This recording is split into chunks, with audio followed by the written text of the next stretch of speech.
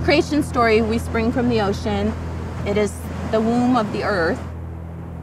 The ocean, or the Seashong, as we say it in our language, is very important. It is a place to get food, a place to get materials for our ceremony. Being coastal natives, it's about living with the land and having the stewardship over the ocean because it provided a way of life for you. Marine life in the ocean is key to our people.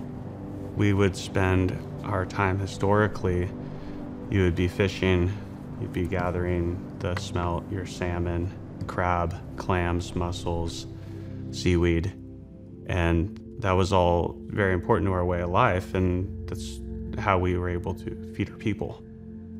So traditionally, the ocean is always provided for our people, and it's always a very important thing to ensure that stewardship and everything is in good balance. It's really important to have a healthy marine environment because tribes rely on the ocean and they have since time immemorial. But our oceans are in trouble. We're definitely seeing impacts from climate change.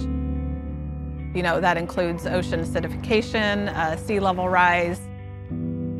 I'll say that I've seen that um, change in my life, but we've actually had to shorten our beds to dry fish because the the tides come up farther. I remember a point in time, though, being young and the mussels were no longer safe to eat or collect or gather. The shortage of certain species of clams, the butter clams, they're non existent. They used to be plentiful right down here. We're seeing warmer waters now. When I was young, you couldn't fish longer than maybe 15, 20 minutes before your feet would go numb. That doesn't happen now.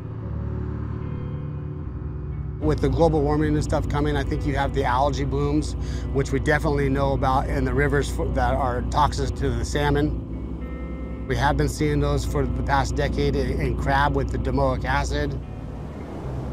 There's a lot of changes in water quality and pollution. Recently we had a kelp forest die-off that was pretty detrimental here on the north coast that impacted a lot of other uh, species that rely on kelp forests. Species are returning at different times than they have historically. The runs of our surf smelt, they're running either later in the year, so even our whole seasons have changed a bit. I think it was 2009 when the state of California put in what was called the Marine Life Protection Act. The state uh, was interested in developing a network of marine protected areas throughout California. And through that process, there was no recognition of tribal rights. And so tribes on the North Coast really unified, really pushing back against uh, the state of California. The state put in uh, marine protected areas all on the North Coast. There's one right here. But we found out when the MPAs got established, there was no one around, no wardens to enforce the MPA. And so we took it upon ourselves. The assertion of sovereignty in that, making that statement, this is what we're going to do and we're going to steward this. We're not asking for the state's approval. We're taking it our own hands. And I think that's important because like they say, you're only as sovereign as you act. And you need to assert your sovereignty as a tribe.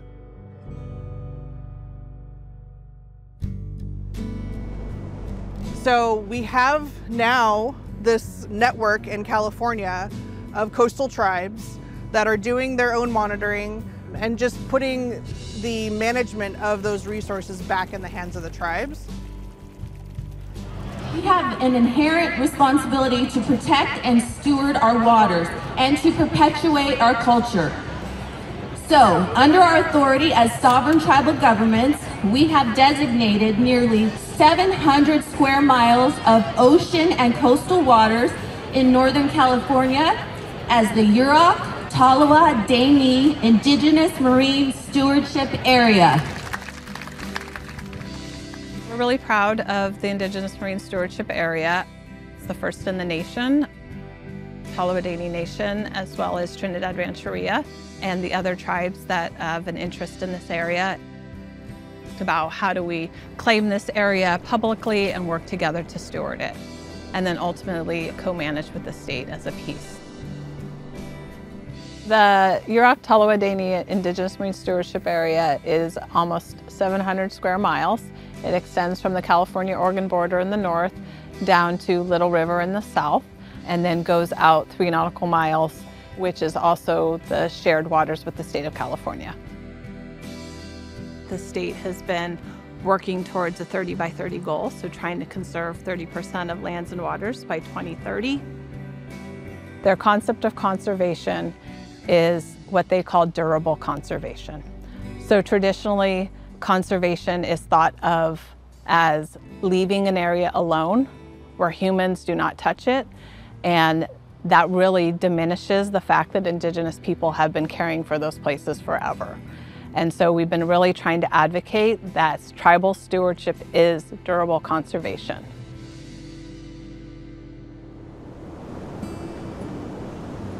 We started off with a couple of few small projects uh, looking at Tlampch, which is surf smelt.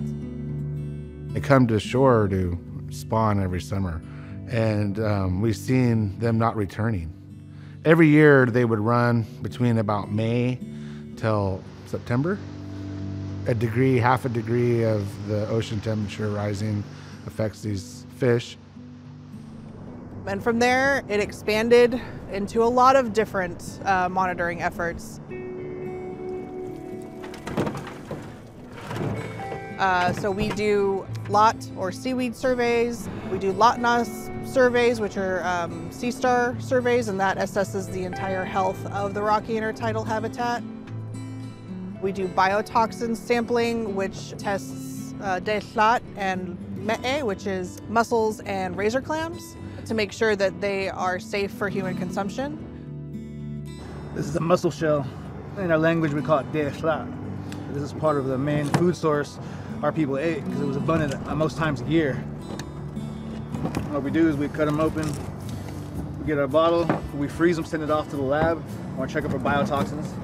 See out here, certain times a year, they have certain toxins that we can't eat. So what we do is we test them every month. So if our tribal citizens or our elders want to eat these, anytime they can check our website for the tribe and always know if they're safe to eat. It's an important cultural food source for our people.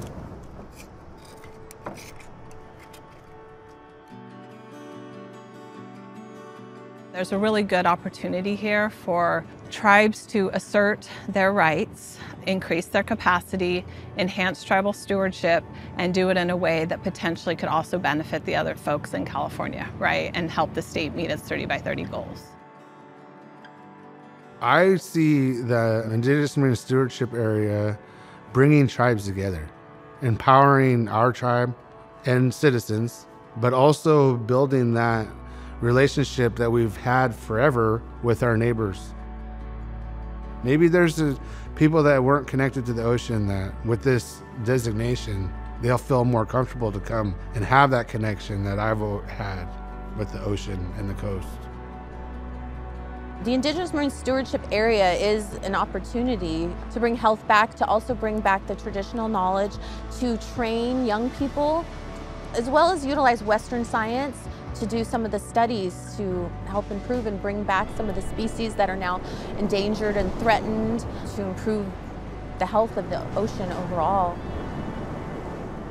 And I'm hoping other tribes in the state of California and other places also follow suit and do the same thing because I just believe it's going to bring health and, and balance back.